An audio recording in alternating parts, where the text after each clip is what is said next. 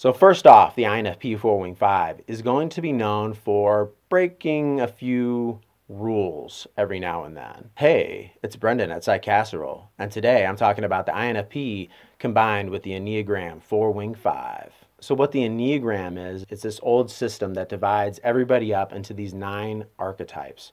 Everybody fits into one of these archetypes.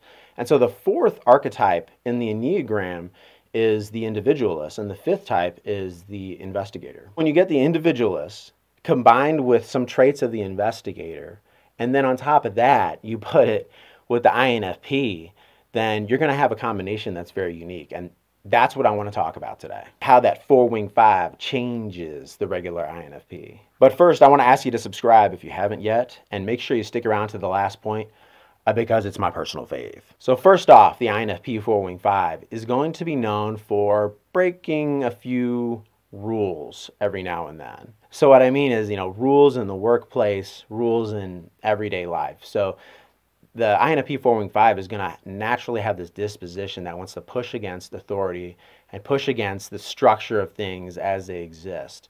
You know, having this thought of, hey, if there's an easier way that I can get this done without harming anybody and just using my creative thinking abilities, if I can get this done, like that would be amazing. I mean, why not do that? INFP 4 wing 5s can be exceptionally stubborn. So INFPs in general are known for being really stubborn, especially when their values get stepped on. But when you add the dimension of the 4 wing 5 from the Enneagram, and you know the four wing five implies that this person is searching for answers and this person is trying to figure out who they are and what their life means.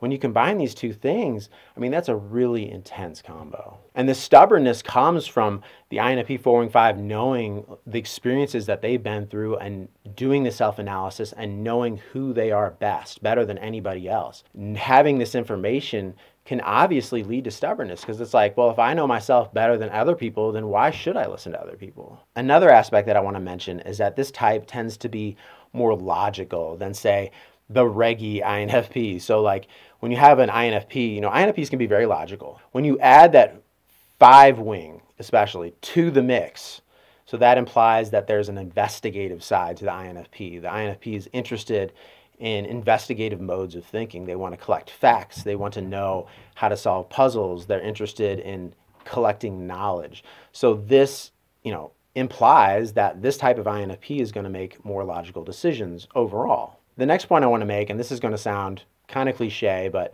it's very true, is that the INFP 4 Wing 5 is looking for the meaning of their life. So as they grow up, they're going to feel like they don't fit in. They're going to feel like, you know, why do I feel different or why do I seem different than others? And the INFP is trying to find their way. And as they get older, they discover their values, you know, through trial and error. They discover their values. They discover what they like, what they don't like you know what resonates with them what definitely doesn't resonate with them. But it's like they're at the center of a movie. It's like they're frodo baggins. If you look at the book you know it centers around frodo. You know he's sort of like everything kind of comes back to him because he's the one carrying the burden. I'm not implying that infps are carrying any sort of burden. I'm just saying that infp four wing fives tend to see themselves as at the center of their movie. That's not to say that the INFP 4 Wing 5 is always like just thinking about themselves because it's not true at all. It's just that they base all of their decision making off of what their own values are. If they value hard work, if they value honesty, that's going to show. INFP 4 Wing 5s tend to care more about fashion than your reggy INFPs. That's true. You know, if you look at some INFPs, they don't really have a care for fashion, or some do, but it's just a more like neutral fashion. It's not super expressive. And then sometimes you'll see INFPs who actually have like a really quirky and expressive fashion sense. And oftentimes these types are the INFP four wing fives. INFP four wing fives often have a dark side. And, you know, this dark side can often be at the forefront of their life. You know, if, if an INFP is living in an unhealthy way, they can show that dark side pretty readily. INFP four wing fives tend to have tons and tons of hobbies. So they're not great at small talk. But if you start talking to them about a hobby, they'll talk your head off you know, INFP 4 Wing 5s tend to be smart individuals, so they're going to have tons of interests. Now, if they bring up an interest and they're in a talkative mood, they might chat your head off. But if you go up to them and you're like, hey, you know, what's up with that weather? Or, you know, what do you think about this sports team? They might not be so interested. INFP 4 Wing 5s tend to be sensitive on the inside. You'll see that sensitivity if you're in their inner circle. My inner circle allows you to be sensitive. the next thing about this type is that they're highly introspective. So you know INFPs are so introspective.